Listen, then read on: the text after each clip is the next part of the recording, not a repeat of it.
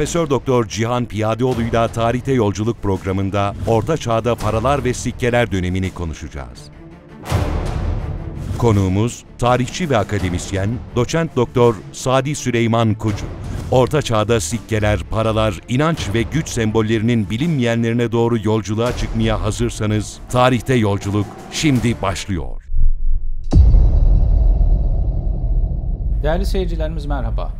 Bu akşam Tarihte Yolculuk programıyla ilginç bir konuyla karşınızdayız. Ben Cihan Piyadeoğlu. Tarih boyunca her devletin olmazsa olmazlarından bir konu para ile karşınızda olacağız. Orta çağda paranın kullanımı nedir? Nasıl basılır? Manaları nedir? Ekonomik ve siyasi anlamda karşılığı ne olarak e, bilinir, belirlenir? Ön yüzünde, arka yüzünde ne yer alır? Bu gibi konuları alanın en önemli araştırmacılarından biri olan çok değerli hocam Marmara Üniversitesi Tarih Bölümü öğretim üyesi doçent doktor Sadi Kucur hocamla konuşacağız. Hocam hoş geldiniz. Hoş bulduk. Teşekkür ederim. Hocam klasik anlamda bir soruyla başlayalım. Sikke yani bizim genel anlamda bildiğimiz, herkesin bildiği, adını duyduğu bir sikke tabiri var. Sikke nedir hocam? Tam manasıyla karşılığı nedir? Evet. En basit ifadesiyle madeni paradır sikke. Arapça bir kelime. Çoğulu meskükat yani Batı literatüründeki nümizmat, nümizmatın karşılığı. Para malum Lidyalılar tarafından e, bulunmuş. E, daha önce takas başka objeler, maddeler e, takas için kullanılmış. E, İslam dünyasına geldiğimizde Müslümanlar kullanılmakta olan paralar yani iki e, imparatorluk toprakları üzerinde yayıldı malum işte e, Müslümanlar. E, Bizans İmparatorluğu ve Sasani İmparatorluğu toprakları üzerinde yayıldı. Buralarda basılmakta olan Bizans ve Sasani tipi paralardan ilham alarak, e, etkilenerek e, müzmatların Arap Sasani, Arap Bizans tipi dedikleri paraları bastırırlar önce. Bu e, Halife Abdülmelik dönemine kadar böyle devam etti. Emeviler döneminde ilk Emeviler, basılıyor. Emevi halifesi Abdülmelik bin Mervan 690'lara kadar. Sonra e, tedrici olarak kademe kademe e, bu yabancı unsurlar e, giderilmeye çalışıldı ve 696-97 yıllarında e, bir reform yaptı Halife Abdülmelik ve ilk İslami tipte paralar basılmaya başlandı. Yani taklitten öze evet, dönmek gibi bir tasvirler şey Tasvirler atıldı. Yabancı unsurlar, Hristiyanlık ve Sasanilerin e, inancı olan mecusilikle ilgili e, inanç unsurları e, çıkarıldı ve tamamen metne dönüştü. E, bu metinlerde e, Emevi paralarında ön yüzde La ilahe illallah vahdehu la şerikele arka yüzde ortalarında merkezde e, İhlas suresi e, yer alıyor idi. E, şeyde e, çevresinde ise bir ayeti kerime e, yer almaya başladı. Tevbe suresi e, 33. ayet. Ufak e, kısaltmalarla yani anlamı değiştirmeyecek şekilde ufak değişikliklerle bu ayet yer almaya başladı. E, ilk paralarda halifenin lakabı, ismi, e, darp yeri e, yer almıyordu. Çünkü sadece zaten halife para bastır, dinar bastırıyordu. Dinar ve dirhem bastırıyordu. E, onun için lüzum görülmemiş. Ama ilerleyen zaman içinde halifelerin dışında başka Abbasi hanedanına mensup e, yöneticiler de dinar bastırmaya başlayınca bunları birbirinden ayırmak için e, halifeler e, lakaplarını koymaya başladılar darp yerleri belirtilmeye başlandı. Geliştikçe tabii. Evet, ilerleyen zaman içinde. Sonra Abbasiler döneminde e, bir değişiklik yapıldı. Arka yüz e, ortada İhlas suresi yerine Muhammedur Resulullah ibaresi kelime-i tevhidin ikinci kısmı yani yer almaya başladı. E, Halife Memun döneminde ise e, yeni bir ilave oldu. E, Rum suresi 4 ila 5. ayetten e, kısım bir e, kısım yer, al, yer almaya başladı. Yani e, biri ön yüzde, biri arka yüzde e, yer aldı. Bunun dışında yani bu dini metinlerin dışında tabii ki bastıran kişi e, halife e, artık e, lakabını koymaya başlamıştı Abbasi paralarında. E, bunun dışında bir de darp yeri ve tarihini ifade eden bir Arapça cümle yazı ile e, yani darp tarihi de rakamla değil yazıyla e, ikinci bir çember e, şeklinde yer alıyor idi. Selçuklularda ise e, sadece Selçuklularda değil yani Abbasilerin uzantısı olan ondan kopan e, Mısır'da Torunoğulları, İşidoğulları, Maviran Nehir'de Tahiriler, Samaniler ve Samanilerden doğan Gazneliler, Karahanlılar, Büyük Selçuklar e, gibi e, çağdaş bütün e, İslam devletleri de bu Abbasilerin e, tipini devam kabullendiler, etti. benimsediler. Uzun süre bu devam etti. Hocam e, Selçuklu özelinde ayrıca konuşacağız ama onun öncesinde paranın toplumda ne ifade ettiği üzerinden biraz gidelim. Biz hani genel itibariyle bakıldığında paralarla ilgili bazı ifadeler, bazı kelimeler duyarız. İşte dinardır, sikkedir, akçedir. Bunların karşılığının aslında ne olduğunu tam manasıyla bilemiyoruz. Evet. Mesela bunlar nedir? E, toplumda yani normal bir yaşantıda dinarın kullanımı nedir? Dirhemin kullanımı nedir? Bunlar hangi maddelerden basılır, madenlerden basılır? Bunlar hakkında bilgi vermemiz hocam mümkün müdür? Başlıca üç ana e, maden kullanılıyor para basımında. Altın, gümüş ve e, bakır. E, başka elektrum e, Roma paralarında çok görülür. Mesela Selçuklarda e, çok az nadir rastlanır. E, o da altın gümüş arası bir madendir. Ama genellikle altın, gümüş ve bakır madenleri kullanılır.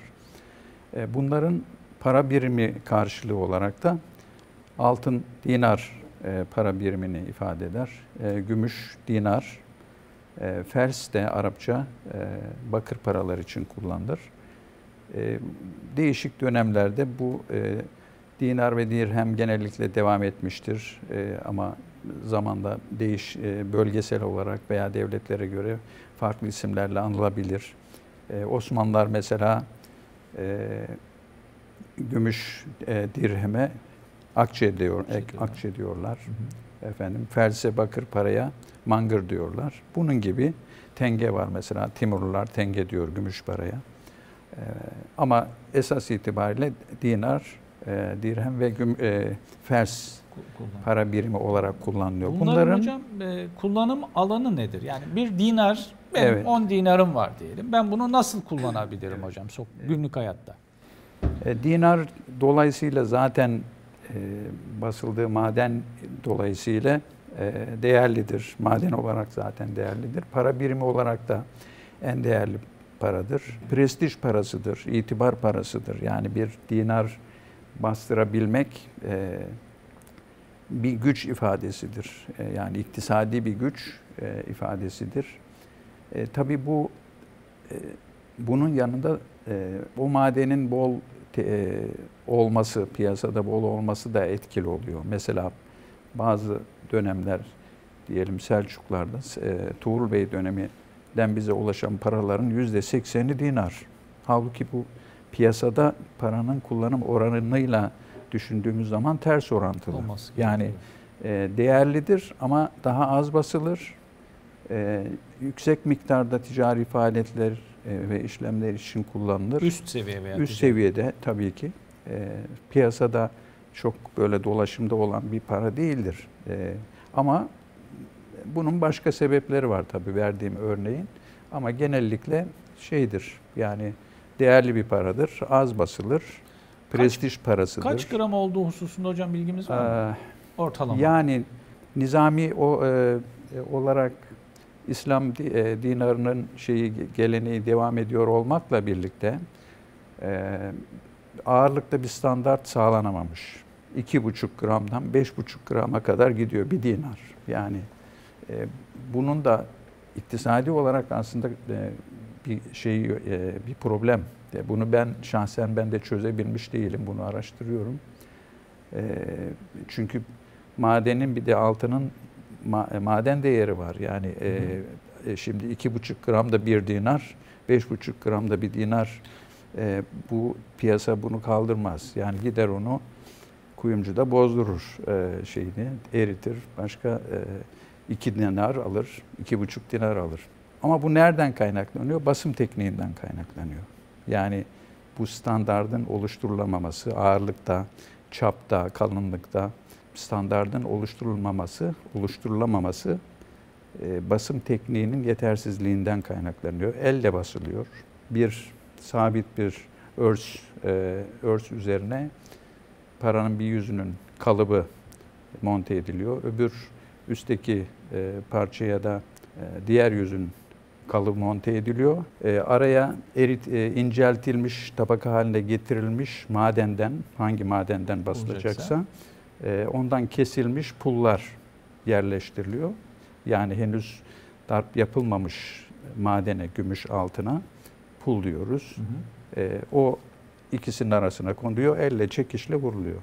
Şimdi çekicin vuruş hızlı, kalıbın e, yeniliği, eskiliği çünkü zamanla çekiş darbeleriyle aşınıyor.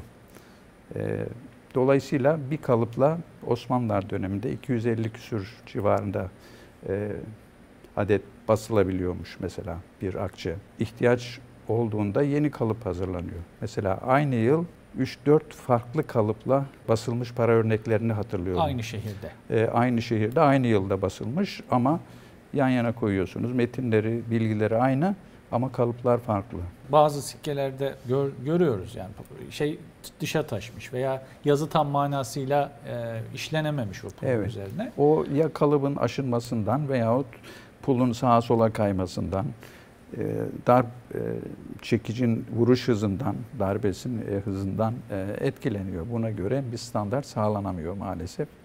E, gramajdaki bu farklılık tabii bir problem olarak önümüzde duruyor. Bunu şöyle açıklıyorlar. E, darphaneye diyelim belli bir miktarda altını veriyorsunuz.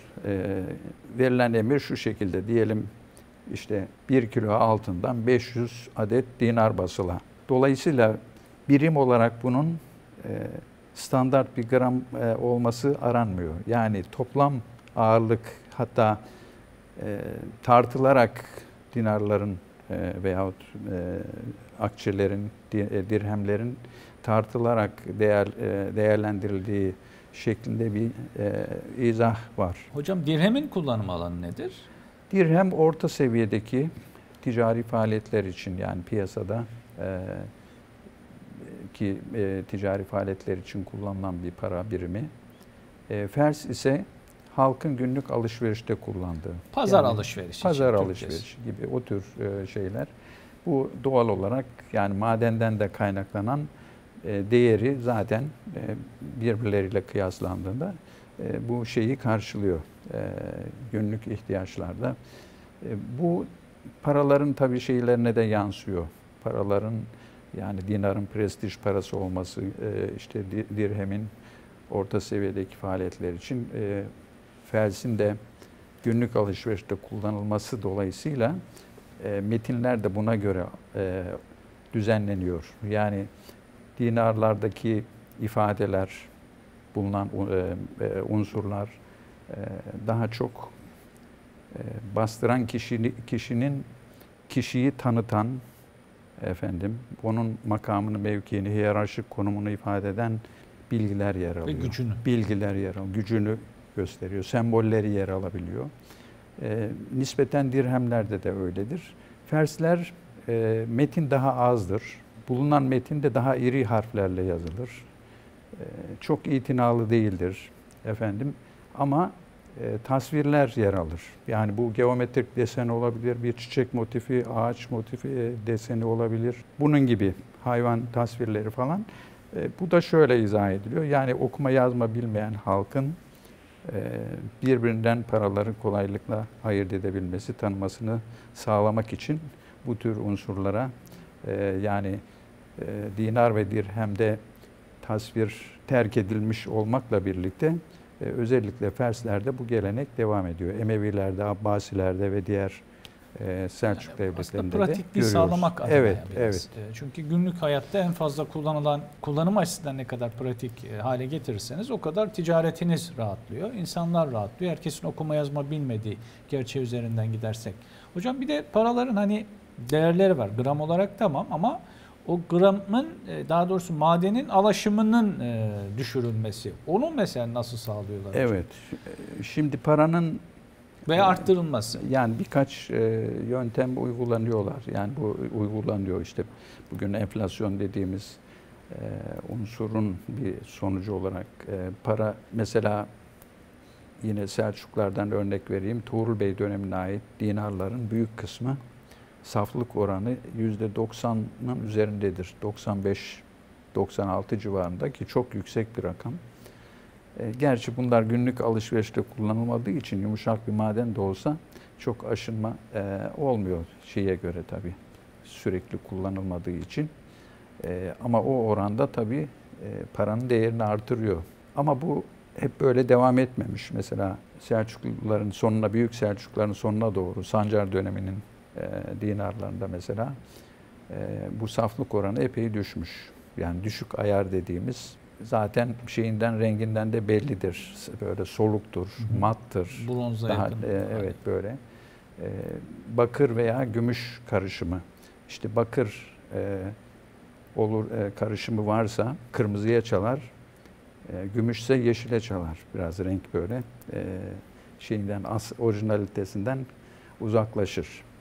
E, bu madenin e, temin sıkıntısından kaynaklanabilir. Bazen gümüş e, dönemler, gümüş krizi vardır mesela. Gümüş bulmakta zorlanıyorlar. Artuklar mesela e, fersleri e, dirhem yerine kullanıyorlar. Para birimi olarak yani dirhem yerine fersleri kullanıyorlar. E, böyle dönemler var. Veya altının bol olduğu dönem var. Gümüşün bol olduğu dönemler var.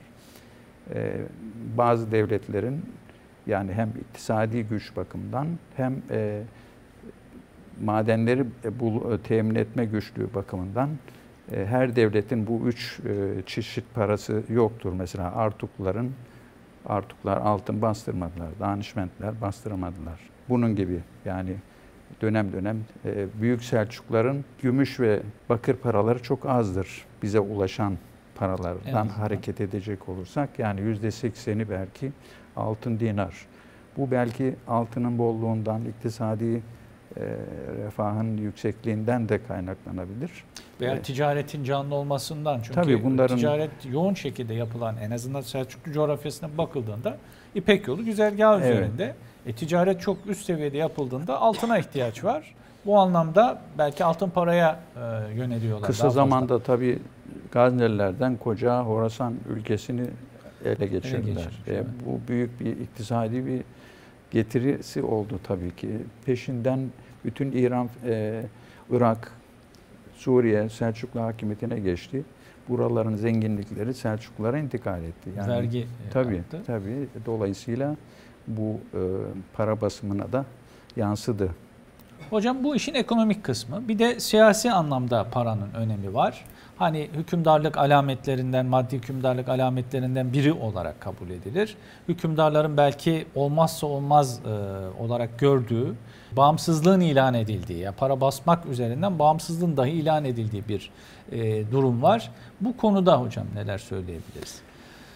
Aslında öncelikle e, bir para demin söylediğimiz e, iktisadi bir e, fonksiyon e, olarak basılır. E, bu siyasi e, fonksiyonu ise birincisinin bir sonucudur. Yani para e, iktisadi bir araç olarak basılma ihtiyacı var. Fakat bu basılan, basılacak olan paraya halkın güven duyması lazım. Bu güveni, bu güven nasıl verilecek, nasıl sağlanacak? E, bu da parayı bastıran kişi kendisini ifade ederek bir anlamda teminat veriyor halka. Yani bu parayı ben bastırdım, benim teminatım altında, buna güvenebilirsiniz e, diyor adeta. Bunu söylerken de kendi pozisyonunu, siyasi pozisyonunu, hiyerarşik durumunu e, ifade edecek şekilde metinler yer alıyor. İsmi, lakabı, künyesi, e, ünvanları yer alıyor. Sembolleri varsa sembol kullanıyor. E, efendim dini metinlere ilave olarak. Basılan bir sikke e, bu yönüyle de biz tarihçiler için önemli bir kaynak teşkil eder. Yani bastıran kişinin tabi midir, metbu mudur, yani bağımsız mıdır, yarı bağımsız mıdır? Ee, bir de belki yanlış bilinen bir e, bilgi, sadece hükümdarlar para bastırmıyor. Melikler, şehzadeler, eyalet valileri, şehir valileri, hanedan mensubu olması şart değil. Değil. Yani irli ufaklı e, birçok idari yönetici e, para bastırabilir. Hocam bu izne tabi midir peki?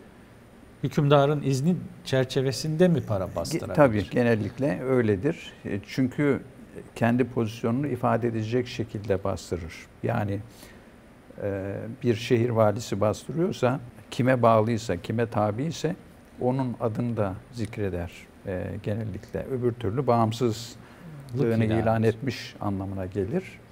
E, bu da bir siyasi krize sebep olur.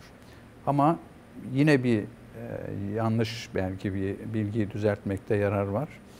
Tabilik e, yükümlülükleri tabi oluş şekline göre belirlenir. Yani tabiliğin yükümlülükleri e, standart değildir. Her tabi aynı yükümlülüklere yükümlülüklerden sorumlu değildir. E, kimi kılıç zoruyla tabi kılınır, kim- kimi kendisi kendiliğinden teslim olur. Dolayısıyla e, yükümlülükleri de buna göre belirlenir. E, mesela tabi olduğunu bildiğimiz bazı yöneticilerin paralarında metbuunun adı görülmez. Yani bu genel bir kural değil mesela. Bazı özel durumlarda e, kuruluş devrinde Tuğrul Bey döneminde mesela diğer hanedan üyeleri bas, e, kendi bölgelerinde para bastırıyorlar. Kendi adlarına bastırıyorlar. Tuğrul Bey'i sultan olarak tanıdıkları halde Hı hı. bu paralarına yansımıyor. Tuğrul Bey de bu konuda onlara bir müdahalede bulunmuyor.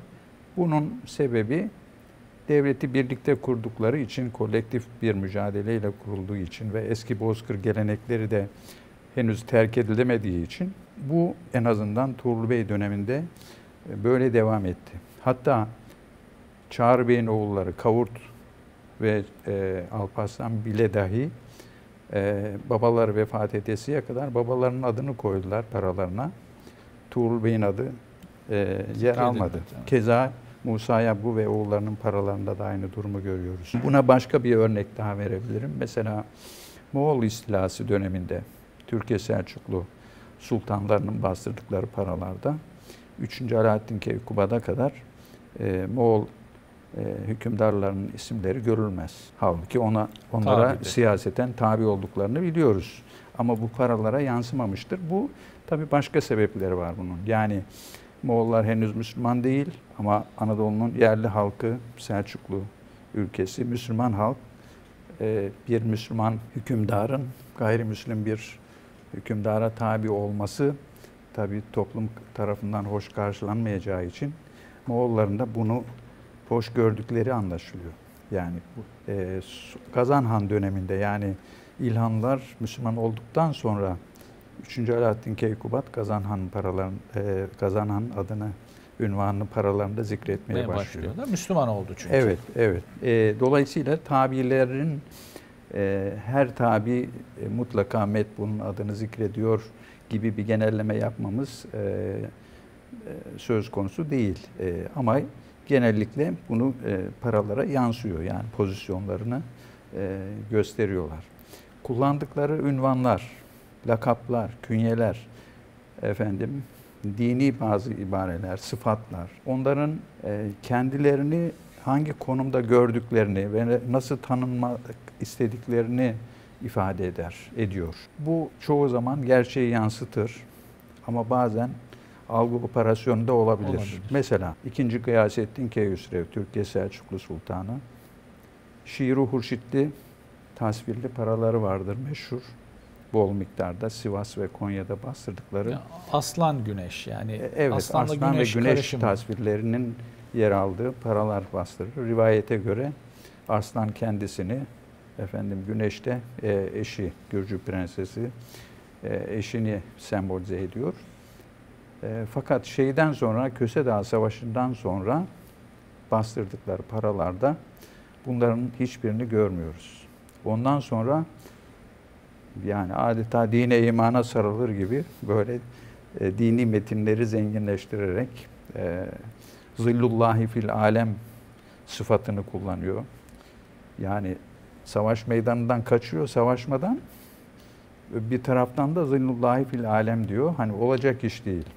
E, burada algı operasyonu Algı. yapıyor. Yani gerçeği yansıtmıyor. Yansıtmıyor. Yani e, hani babası kullansa Alaaddin Keykubat o bile kullanmamış. Zillullahi fil alem yani Allah'ın yeryüzündeki gölgesi, Gölgesi. anlamındaki e, ifadeyi e, ikinci Gıyasettin Keyhüsrev paralarında kullanıyor. Burada biraz e, o kendini affettirmek, halka hoş görünmek için e, bu tür En azından şeyleri çaba. evet bir O- çaba gayret görülüyor. Dolayısıyla paralar e, çok önemli bir kaynaktır. E, birincil kaynaktır. E, bizzat e, dönemin yöneticilerinin bastırdıkları ve kendilerini ifade ettikleri paralardır, e, kaynaklardır. Ama e, diğer kaynakların bilgileriyle de karşılaştırmak şartıyla e, değerlendirmek gerekir. Şimdi hocam ya ve ekleme yapayım biraz müsaade ederseniz.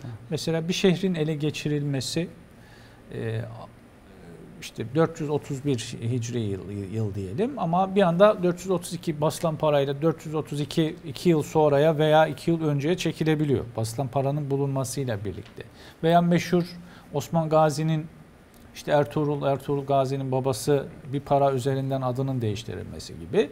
Bu tarz e, şeyler aslında biz tarihçiler için önemli e, veriler. E, bir de şu şu anlamda Şehir tarihlerini biraz açalım isterseniz. yani Tabii. bir şehrin e, filan tarihte kimin elinde? geçti Yani veya- kim e, kimin hakimiyeti altında kalmış? Nasıl el değiştirmiş? Hangi tarihte el değiştirmiş? Hangi tarihler arasında kimin yönetimi altındaymış? Bunları film şeridi gibi e, bas, orada o şehirde basılan sikkeleri kronolojik bir sıralamaya e, tabi tuttuğunuzda bunu izlemeniz mümkün. Mesela e, İsfahan emiri, Emir Feramurs, Kaküye emiri bu e, karşı koymadan şehri teslim ediyor Tuğrul Bey'e. Bu gibi durumlarda yani kan dökülmeden bir şehir ele geçirilirse genellikle mevcut yöneticisi yerinde bırakılır. Selçuklu'ya tabi olmak şartıyla, yükümlülüklerini yerine getirmek şartıyla bırakılır. Emir Feramuz da yerinde bırakılıyor. Bastırdığı paralarda e, onun e, psikolojisi bile yansıyor. Yani tabilik metbulluk seyrinin ibresi böyle kalp atışları gibi izlemeniz mümkün. Tuğrul Bey'den e, e, iki yıl önce Tuğrul Bey'i sultan ünvanıyla zikrediyor. E, para. Emir Feramuz Hı hı. bastırdığı din, dinarda. E, 435 yılında iki dinarı var, iki farklı dinarı var. Birinde e, ok yay var, öbüründe yok. E, yani ok ve yay biraz sonra bahsedeceğiz. Selçukların, Büyük Selçukların, Hakim. Irak, Kirman, Suriye Selçuklarının kullandıkları bir hanedan sembolüdür. Ee, efendim. Şeyde yok, aynı yıl bastırdığı sikkede yok. Bir sonraki yılda bastırdığı parada Tuğrul Bey'in tabiyetinden çıkmış, Büveyhilerden Ebu Kalıncar'a tabi olmuş. Sonra Tuğrul Bey e, onu de uyarıyor demek ki e, tekrar Tuğrul Bey'in tabi e, ona tabi olmaya dönüyor, geri dönüyor. Bir sonraki paralarda ise e, ya vefat ediyor veyahut e, yine bu tür zikzaklar çizmeye başlayınca Tuğrul Bey onu artık e, devre dışı bırakıp doğrudan kendisi merkezden bir vali tayin ederek doğrudan Tuğrul Bey adına sikkeler basılmaya başlıyor. 1056. Evet. Yani Yıl. böyle e, film şeridi gibi, Gibi bir şehirdeki siyasi değişikliği, e, şehir hakimiyetinin kimin elinde olduğunu paraların üzerinden e, takip etmek mümkün veyahut siyasi tarihteki kaynaklardaki boşlukları doldurma veya eksiklikleri sikkelerle tamamlamak. veya sağlama, bilgiyi sağlama e, Evet, açısından önemli. evet. Hocam bu paralar mesela her şehirde basılabiliyor mu hocam? Daha ziyade darphaneler e, ve darphane dediğimiz şey var mı? e, her şehirde basılıyor. Basılma sebebi o şehirde o madenin bol miktarda bulunmasıyla alakalı mıdır? Yani tabii bu modern dönemlerde şimdi e, e, tek merkezde para basılıyor. Merkez Bankası darphanede para bastırıyor. Bütün ülkeye yayılıyor. Bütün ülkelerde artık böyle ama orta çağda, eski çağda, orta çağda, yeni çağda e, birçok şehirde darphane var. Bunun muhtelif sebepleri olabilir. Yani e, zaten mekanik bir sistem olmadığı için çok miktarda parayı aynı anda basmak mümkün değil. Güvenlik problemi var efendim. Değişik sebepler var. Dolayısıyla e, birçok şehirde e, darphane var. Bir şehri ele geçirdiniz veya bir ülkeyi ele geçirdiniz. Oranın hakim size tabiyet bildirdi ama onu görevde bırakıyorsunuz. Sizin adınıza para bastıracak veya Abbasi Selçuklu münasebetleri açısından tabilik metbuluk ilişkisini nasıl paralar üzerinden e, okuma, okumak gerekir? Şimdi e, Abbasi devletinin işte son dönemlerinde demin bahsettiğim Mısır'da ve Maveraün Nehir'de e, bulunan uç valileri Abbasilerden koparak ayrı devletler kurdular. Tulunoğulları, İşidoğulları, Tahiriler, Samaniler ve bunlardan doğan e, işte Samanilerden de Gazneliler. Gazneli. Onlarla çağdaş Karahanlar, Büyük Selçuklar kuruldu. E, dolayısıyla önce Abbasi yani en azından Sünni e, Müslümanların tek devleti var iken, Abbasi hilafeti var iken bu çeşitlendi. Yani halife dışında, halife aynı zamanda bir devlet başkanı, siyasi liderdi ama zafiyet dolayısıyla, işgal, büvehili, Şii büvehilerin işgali dolayısıyla bu gücünü kaybetti. Ee, ve başka siyasi güçler, devletler zuhur etti. Bunlar bastırdıkları paralarda, okuttukları hutbelerde halifeyi de anma ihtiyacı duydular. E, hatta sultanlığını ilan ettiğinde halifeye başvurdular. Sultanlığının tanınmasını talep ettiler. ettiler. Halife de genellikle bu talepleri e, müsbet karşılıyor. Ama bazen kendi çıkarları e, ile çakıştığı durumlarda veya kendini güçlü hissettiği zamanlarda e, dengelere bakarak e, reddettiği de oluyor. Ama genellikle kabul ediyor. Bu siyasi liderler için toplum nazarında bir yani manevi bir destek sağlamış oluyor. Halkın bu siyasi lideri kabullenmesini kolaylaştırıyor halifenin onayını almak. Böyle bir katkısı var. Halifenin e, halife tarafından tanınmanın. E, bunun karşılığı olarak da siyasi liderler halifenin lakabını e, paralarında zikrediyorlar. Yani e, halifenin adı sonra kendi adına bastırıyor. Ön yüzü genellikle ön yüze e, işte la ilahe illallah vahdehu la şerike leh'ten sonra el kaim bi emrillah mesela e, halifenin lakabı is, ismini kullanmıyorlar. Genellikle lakabına yer veriyorlar. E, Arka yüzde de kendini ifade ediyor. İfade parayı ediyor. bastıran kişi. Eğer bastıran kişi tabi ise, tabi bir hükümdar ise, yani yarı bağımlı, yarı bağımsız e, bir e, hükümdarsa o zaman metbuğun adını da genellikle zikrediyor. Bir de tabilik metbuluk ilişkisi var. Özellikle e, Selçukluların Abbas halifelerine bağlılığı bir şekilde hani paralar üzerinden de gösteriliyor. Bunu nasıl açıklarız? Ee, ben şahsen e, sultanların yani halifeye tabi olduğu şeklinde e, düşünmüyorum, anlamıyorum onu. Yani siyasi bir tabilik e, gibi düşünmemek lazım onu. E, istisnai bir durum. Yani halife ile sultan veyahut diğer siyasi liderlerin ilişkisi. Halife kimseyi sultan ilan etmiyor. Kişi kendini sultan ilan eder. Bu ilanının halife tarafından tanınmasını talep eder. E, halife de genellikle kazanır, tanır. Bazı şartlarda e, tanımayabilir. E, kendi pozisyonunu dikkate alarak e, veyahut güçlü görmediyse güç dengelerini dikkate alarak tanımayabilir. Ama bunu diğer siyasi tabilik metbuluk ilişkisi olarak düşünmüyorum ben halife ile olan ilişkiyi. Halifenin manevi bir pozisyonu var. Ee, bir şarkıyatçı George Makdisi e, bunu e, bir makalesinde gayet güzel yorumlamış. Otorite ve iktidar diye. Yani halifeyi e, o otorite merci olarak görüyor. Güç, iktidar sahibi olarak da sultanı görüyor. Sultan e, meşruiyet açısından halkın nezdinde, katında kendini kabul ettirmek için halifenin manevi desteğine ihtiyaç duyuyor. Otoritenin desteğine ihtiyaç duyuyor. E, bundan dolayı talep ediyor ondan tanınmasını. Yoksa askeri ve siyasi güç olarak ihtiyacı yok, yok. aslında. Halife de otoritesini temin etmek, sağlamak, ayakta durabilmek için iktidarın yani siyasi askeri gücün desteğine ihtiyaç duyuyor.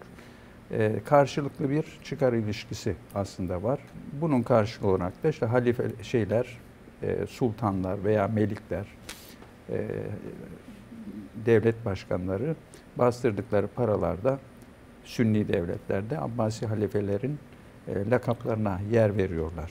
Diğer siyasi tabilik metbuluk ilişkisine gelince e, tabirler genellikle hutbelerde ve sikkelerde metbuğunun e, bilgilerini, lakaplarını, isimlerini zikrederler. Ama bu genel bir kural değildir. Yani kesin bir kural değildir. Çünkü tabi oluş şekline göre belirlenir.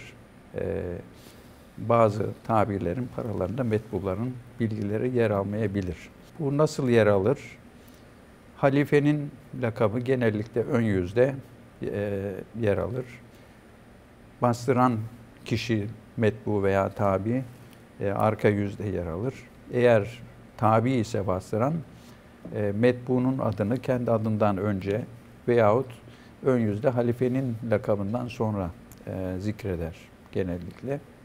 E, bu şekilde yer alır. Hatta daha da fazla mesela tabi metbu dedik. Tabinin tabisinin bastırdığı paralar da var. Mesela Azerbaycan Atabekleri, İldenizlerin bastırdıkları bazı paralarda veyahut Suriye'deki Atabekliklerin bastırdıkları paralarda Irak Selçuklarına tabiler. Irak Selçuklarında Büyük Selçuklara tabiler. Dolayısıyla işte Sancar'ın efendim Mahmud'un Irak Selçuklu Sultanı Sultan. Mahmud'un ve sonra kendi e, Azerbaycan Atabey'inin e, isimlerine aynı sikkede rastlayabiliyoruz. Yani bir, bir de halifenin e, lakabı var. Yani dört kişinin lakabı e, bilgileri yer alabiliyor yer bir, bir sikkede. Semboller konusuna Hocam geçelim. ondan öncesinde şey yani Selçuklu sikkelerine bir geçelim. İlk Selçuklu sikkelerin, daha ziyade Selçuklu sikkeler üzerinde çalışıyorsunuz. Yani Selçuklar ilk ne zaman para bastırmışlar? Devletlerini 1040'da kurmuş olmalarına rağmen bunun öncesinde para bastırdıklarına dair bilgiler var. Ee, ilk para bastırdıklarında mesela bunun e, altın mıdır, gümüş müdür? Neye göre basmışlardır? Kendilerini ne olarak evet. e, tas, tasvir etmişlerdir? Şimdi öncelikle e, para basmak için illa devlet kurmuş olmak gerekmiyor. Gerekmediği anlaşılıyor. Hı hı. Yani birçok siyasi mevkide, konumda e, bulunan kişi para bastırabildiğini söyledik. E, nitekim Selçuklular da e, nihai olarak devleti e, Dandanakan zaferinden sonra kurduklarını biliyoruz 1040'tan e, sonra. E, ama bundan önce e, 1038'de bir bağımsızlıklarını kazanmışlardı. O zaman da bastırdılar. Fakat ondan da önce yani bir 15 yıl önce 415 Hicri miladi 1025 yılında bugünkü Özbekistan Özbekistan topraklarında Semerkant Buhara arasında Kermine adlı bir mevkide ki bizim siyasi tarihten bildiğimiz Nur kasabası bunun yakınındadır. Kermine'nin yakınındadır. E, Arslan Yavgu gelip oraya yerleşmiştir. Yurtluk olarak verilmiştir. Selçuk Ma- oğlu. Malumunuz. Selçuk evet. Bey'in oğlu. Selçuk Bey'in oğlu Arslan Yavgu. E, 415-1025 yılında basılmış e, sikke örnekleri var. E, bunlar Karahan, bölge Karahanlı toprakları. Karahanlı bölgesinde basılıyor. Çünkü e, Batı Karahanlı e, lardan Ali Tegin, e, Buhara hakimi, muhalif hanedan üyesi. Ali Tegin'in bölgesi. Arslan Yabgu da onunla ittifak kuruyor, kızını veriyor, dostluk kuruyorlar, ona destek sağlıyor. E, o sırada bastırdığı anlaşılıyor. Üç e, aynı yıl aynı kişinin bastırdığı üç para örneği bize ulaşmış. E, bunları e, ekranda görebiliriz. E, burada henüz devlet falan yok. Yani Arslan Yabgu e, hatta Karahanlı toprakları üzerinde ama kısmi bir böyle bir e, bağımsızlık, özgürlük e, fırsatı Denemesi fırsatı veya. yakalamış. E, böyle deniyor fakat bu maalesef uzun ömürlü olmuyor. Malum Gaz, Gazneli Mahmud'un bir e, davet ettiği ziyafette e, yakalanıp Biraz kendisi davet ve etmiş o zaman hayatını hocam. orada kaybediyor maalesef. Ama ilk yani bize ulaşan para örnekleri bunlar. Fakat bu paralarla ilgili şöyle bir e, durum da var. Bunları e, tanıtan ilk e, tanıtan Boris Koçnev, e, Özbek e. E, yayınladığı makalede bunları Musa Yabgu'ya ait olduğunu söylüyor. Benim tespitlerime göre paranın basıldığı yer, tarih ve babasının lakabı e, Muizzüt Devle, e, Resul Tekin'in bastırdığı parada babasını Muizzüt Devle diye zikrediyor. E, o nedenle paranın Aslan Yamk'a ait olduğu anlaşılıyor. Sonra e, Tuğrul Bey 428 yani 1037 yılında e, yine Dandanakan'dan önce Nişabur'a İbrahim İnal ilk defa girdiğinde ki yazılı kaynaklara göre bir biz 1038 diye biliyoruz. O 30 e, İbnül Esir'de ikisi de geçiyor hocam. 37 İkisi de de 38 geçiyor. de geçiyor O ama öyle bir- belki esas almak daha mantıklı. 38 daha mantıklı görünüyor Evet. hocam. E, keza aynı yıl yine tek e, bu iki para uniktir yani tek örnektir. E, Tuğrul Bey'in Nişabur'da ve Rey'de bastırdığı, aynı yıl bastırdığı iki para örneği var. E, çok e- yani erken bir tarih henüz e, de- devlet henüz kesin olarak kurulmuş değil. Ama buralarda para bastırılmış 400 e, 1037 yılında Nişabur'da ve Rey'de. Burada bir şey dikkatimizi çekiyor.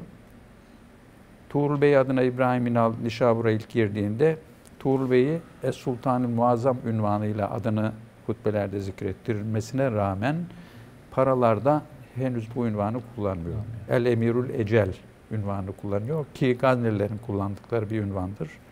Keza Rey'de basılan parada da El Emirü Seyyid ünvanını kullanıyor ki orada da daha önce basılan paralarda kullanılan ünvanı kullanıyor. 435'te benim tespit edebildiğim ilk para Tuğrul Bey'in sultan ünvanını kullandığı ilk e, sikke. E, o zamana kadar halifenin halife tarafından sultanlığının tanınmasını beklediği anlaşılıyor.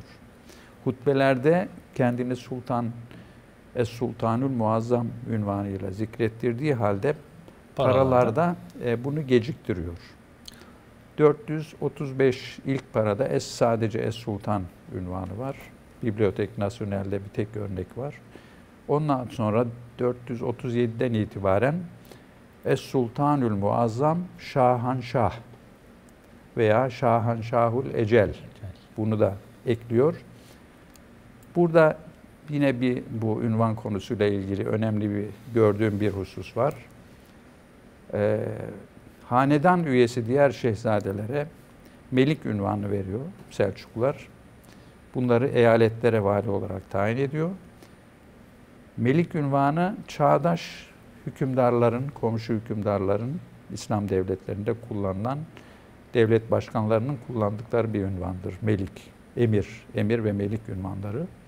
Sultan ise daha önce düzensiz şekilde sıfat olarak kullanılmış ama bir e, devlet başkanının resmi bir ünvanı olarak paralarda ilk defa e, Selçuklar kullanmaya başlıyor. Şimdi burada bir bir anlayışın bir tezahürü olduğu anlaşılıyor bu. E, çağdaşı olan hükümdarları şehzadeleri seviyesine indirgiyor. melik onlara melik ünvanını vererek kendini daha Yukarıya bir üstte çıkardı. yani cihan hükümdarı hüviyetine bürünüyor. Yani o zaman paranın aslında bir e, nasıl söylenir simgesel yani sembol tabii sembol tabii tarafı ki da var. yani e, tabii ki hakimiyet sembolü dediğimiz e, pozisyon burada gayet güzel ortaya çıkıyor. Yani sultan ünvanı resmi bir devlet başkanı ünvanı olarak ve sürekli bir şekilde kullanmaya ilk Selçuklar başlıyor. Mesela Gazneli Mahmut için de sultan ünvanı zikredilir yazılı kaynaklarda ama bastırdığı hiçbir parada yoktur. Dolayısıyla ilk Selçuklar sultan ünvanını kullanmaya başlamıştır ve burada da bir mesaj veriliyor. Yani cihan sıradan bir hükümdar değil. değil. Hatta Şahanşahı mesela Şahanşahı Büveyhiler kullanıyor. Büveyhiler Sasanilerin varisi olarak kendilerini görüyorlar. E şimdi İran'ı fethetti Selçuklular. E, Miras vermek istediği mesaj şu. Yani zamanın sultanı da benim, şahı da, şahlar şahı da benim. Başka kapı da aramayın. Yani ben cihan hükümdarıyım mesajını veriyor. sembol Ee, bu Şu- yani ünvanla e, bu tercihlerle bu gayet güzel yansıtılıyor. Hocam sembol demişken e, Evet. paralarda hangi semboller var? Veya bu benzerlik gösteriyor mu? Daha önceki veya Selçuklu sultanları kendi arasında benzerlik gösteriyor mu?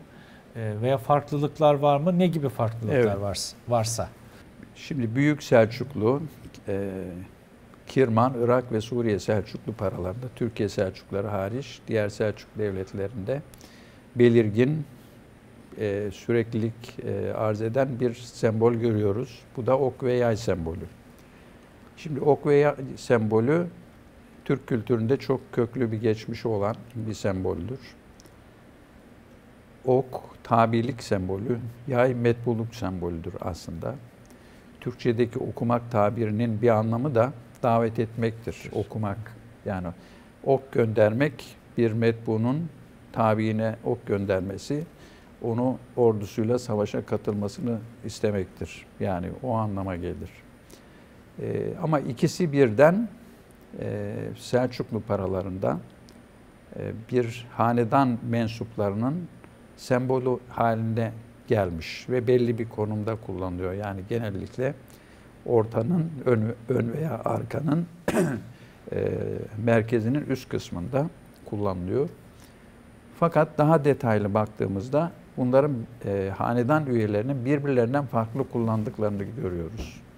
Mesela Tuğrul Bey'in paralarında e, ok hep yayın dışındadır. Ya sağındadır ya solundadır.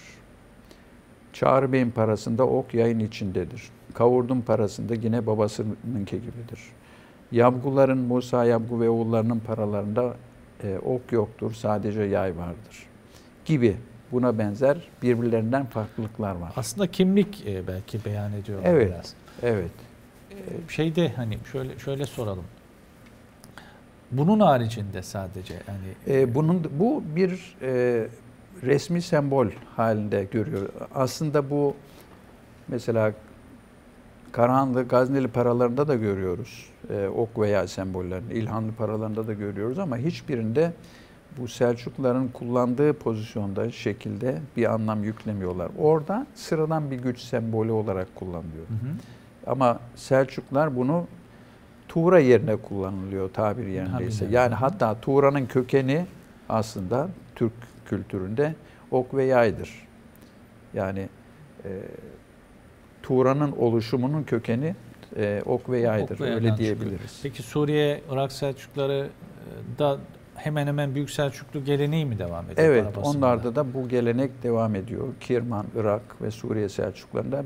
Türkiye Selçuklarında zaten para tipleri de değişiyor. Hı hı. Ok ve yay sembolü de görülmüyor. görülmemeye başlıyor. Evet. Peki Bunun dışında kılıç var mesela. Kılıç sembolü. Ama bu da e, bu hüviyette değil. Yani ok yay sembolünün ifade ettiği şey değil de güç sembolü olarak çomak var mesela. çomaktan kasıt Ço- hocam. çomak nedir? o da bu asa, çomak, gürz, topuz falan Hı hı. var ya birbirine benzer. Yani elde e, tutulan böyle başı topuzlu bir asa gibi düşünebilirsiniz. Oradaki hatta şey onun nedir hocam? e, başı hatta ejder başlı olan çomaklar vardır. Yani- Ona mikmaa diyorlar. Anlam hocam nedir? Var mı bir anlamı? Güç sembolü. O da güç sembolü. Yani e, kılıç ve şey e, çomak. Hatta bu Arslan Yabgu'ya ait olduğunu düşündüğümüz paraların birinde de var. Çomak e, tasviri de var. Hocam Türkiye Selçuklularında durum biraz değişiyor. Yani hem paralarda durum değişiyor, coğrafya değiştiği için midir bu? Etkileşim diğer devletlerle en azından Bizans'la e, en basitinden etkileşim sağlandığı için mi değişiklikler gösteriyor? Veya biraz daha uzatayım soruyu. e, Büyük Selçuklulardan bir kopuş anlamına mı gelir bu? Yani kopuşun bir yansımasından ziyade ülke topraklarının tebaasının farklılığından kaynaklandığını düşünüyorum. Yani Türkiye Selçuklularının dışındaki Selçuklu toprakları zaten İslam topraklarıydı. Selçuklardan önce İslam topraklarıydı. Anadolu hariç. Anadolu Bizans toprağıydı. Dolayısıyla yerli halk Hristiyandı. Ve burada para bastığınızda paranın bağımsız bir gücü var. Şimdi bu hakimiyet sembolü falan diye bahsediyoruz ama bunlardan bağımsız paranın bir kendi gücü var. O da nedir? Yerli halkın paraya güven duyması lazım. Ee, ne kadar güçlü olursanız olun, ne kadar siyasi, askeri gücünüz olursa olsun, her devlet bunu dikkate almak zorunda kaldığını görüyoruz tarih boyunca. Farklı inançtan olduğu halde efendim yerli halkın yani işgal ettiği, fethettiği e, ülkelerin yerli halkının hassasiyetleri e, paralara yansıyor. Yani onların e, dışlamaması için yeni basılan parayı kolaylıkla kabullenmelerini sağlamak için ne varsa yapıyorlar. Mesela Cengiz Han, İran Moğolları, İlhanlılar, Hülagü, Abaka bunlar Müslüman değil. Bastırdıkları paralar İslami tipte paralar. Kelime-i tevhid var paranın üzerinde. Dolayısıyla Halka yönelik bir mantık. evet yani paranın bu yönünde bu özelliğini de göz ardı etmememiz lazım. Anadolu'da yerli halk e, gayrimüslim e, olduğu ve Bizans para deyince Bizans paralarını tanıdıkları için e, ilk basılan paralarda e, bu özellik e, ilk Selçuklu paralarına yansıyor. Mesela bize ulaşan ilk e, örnek Türkiye Selçuklularından 1. Mesud'un felsidir. E, altın, gümüş, dinar, dirhem bastırdığına dair bir bilgimiz yok. Bize ulaşan bir örnek de yok. 1116'da tahta geçmiş. Evet, Onu Fers e, için bize söyleyelim. ulaşan e, Fers'te ilk Türkiye Selçuklu sikkesinde ekranda da gördüğünüz gibi Bizans İmparatorunun tasviri var. Paranın bir yüzünde, arka yüzünde e, Arapça, Arap harfleriyle kendisini ifade ediyor. Bunun anlamı Şimdi- ne hocam? Şimdi ha bunun anlamı e, demin bahsettiklerimizle çelişiyor. Yani tabirlik metbuluk ilişkisi burada söz konusu değil. Değil, evet. Yani 1. Mesud'un Bizans İmparatorluğu'na tabili e, böyle bir e, vaka yok. E, o zaman burada başka bir özellik var.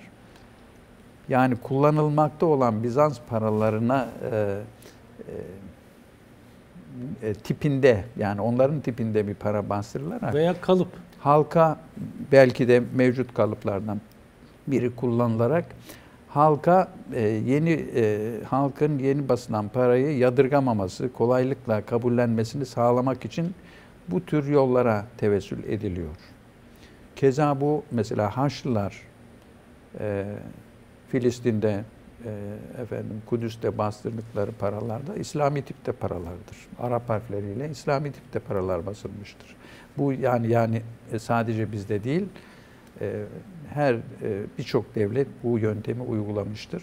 Böyle bir özellik var. Bunun dışında e, demin bahsettiğimiz Abbasi geleneği bütün e, Ortaçağ İslam devletleri paralarına yansımıştı. Metin özellikleri dolayısıyla demiştik. Ama Türkiye Selçuklularında e, bunlar da terk ediliyor. Yavaş yavaş terk ediliyor.